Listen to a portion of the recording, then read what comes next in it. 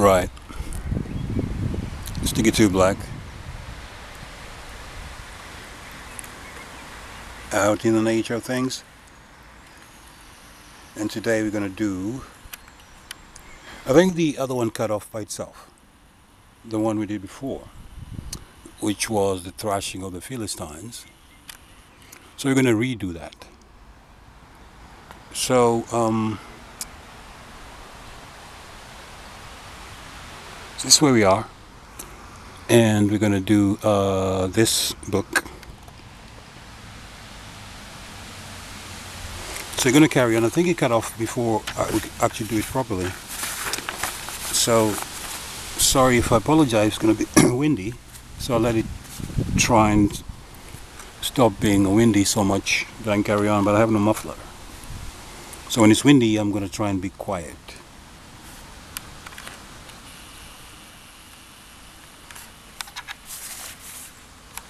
I hope you can see that.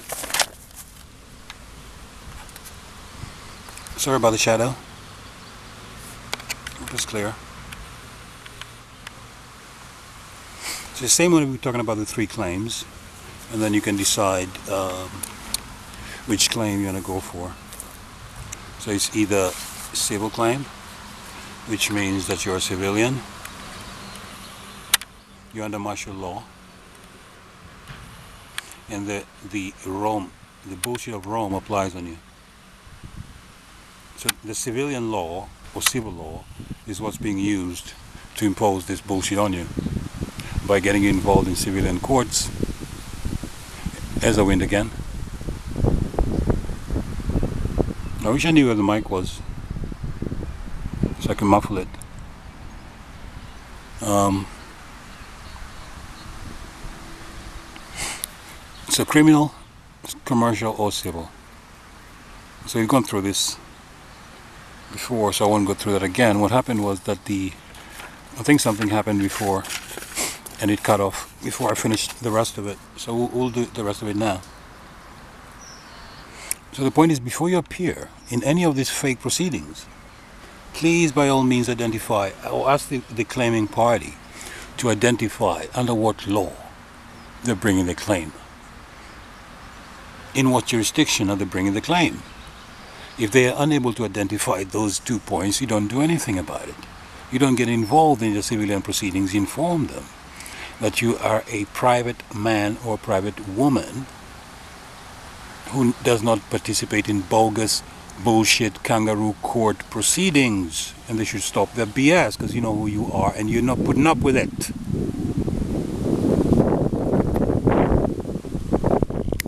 Right? What else do you have? Now the bringing the party bringing a, a, a C, a claim, has to identify whether it's, it's a, uh, the claim, a complaint, or a charge. Is under is under legal obligation to disclose such required jurisdictional and or other information for the purpose of verifying any alleged liability and for allowing remedy to be offered to the appropriate party without need for court action. That's where your entire game is right here. All right, right here because what what they're trying to do is they're trying to get, get you involved in a uh, in controversy. That's all. And as soon as you do get in, involved in controversy, you're done for. Hmm? Okay, so you're going to carry on and say, fine, uh, we're going to participate in a kangaroo court. However, what I'm going to need is for you to identify number one who you are. So who's the true claimant, right? The true claimant. See, this is critical because most people don't understand the, the value of this one. Who is the true claimant? Who's bringing the claim? It's all bogus. Who's bringing the claim? There's no one bringing the claim. Or it's not a living man or woman. It's a fictitious corporation that has no license to do business. So that's the deception right there. So who's the true claimant? And can they come to court and give evidence and be cross-examined? Now these are the, the rules of natural justice that you have as a man on this plane to have absolute right to question anyone who's bringing a claim against you face to face. So no kangaroo bullshit court. Are you kidding me? Are you out of your effing mind? You stupid monkey man. Number two, status, it's legal fiction. So there's no standing here, status. Once identified, the claimant's capacity to bring the claim has to be established.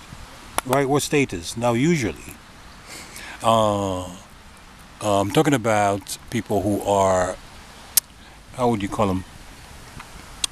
You'd call them uh, fakers.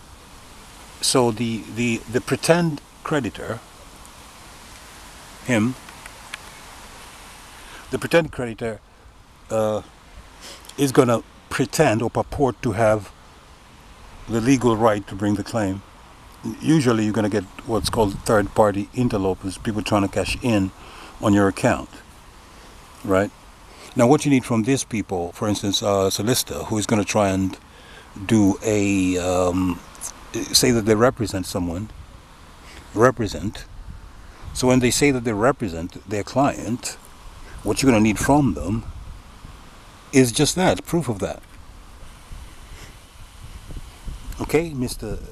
Lawyer, wise ass, solicitor, clever man, right? So you're going to prove what you're claiming. Sorry, there's a wind again. I'm going to chill for a minute.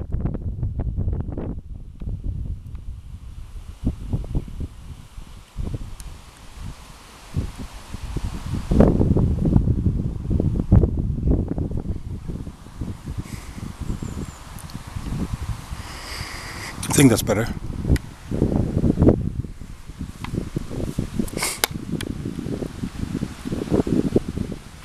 Oh, it's getting cloudy. What's going on? I came out to enjoy some sun. But I think this solar radiation management people are giving us a little bit of time today. So it's not full on.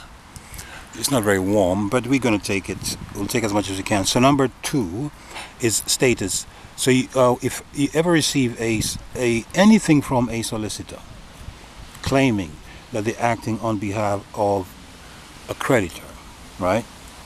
The only thing you wish to see from them, not see, I hate that word see. The only thing you wish to have sight of out of these fools is something called the power of attorney stroke letter of authority. Okay? So you want proof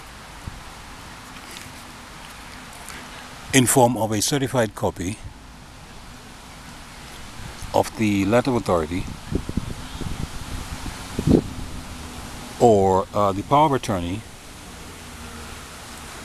that authorizes you or confers authority on you to make representations on behalf of the the bank or whoever it is that's making the claims. So that's number two.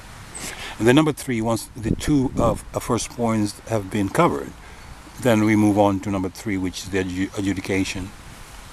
Right? So it's a tragic drama. It's three act play.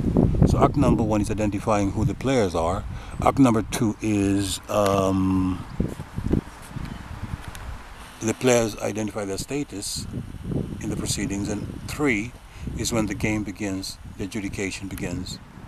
And after that, then you have the finale, the judgment. Alright, so that's the kangaroo court procedure. Bogus, it's bullshit. So the thing is, don't get involved, man. You're being tricked. You're being deceived that there's a system that's working for, is supposed to be there for, working for you. It's ripping you off. It's a bunch of crooks, right? It's a bunch of thugs.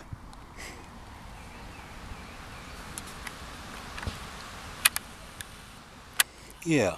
So civil matters are not criminal and may and may thus not be tried in criminal court using criminal statutes. That's what they do all the time in the magician's court, the dicks.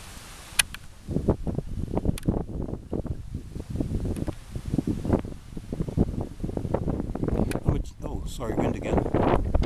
Oh, my paper's flying away. Man, somehow Mm-hmm. So I'm going to leave that there for a minute. So I'm not going to speak because it's so windy. I hope you can see it and you can just take the information.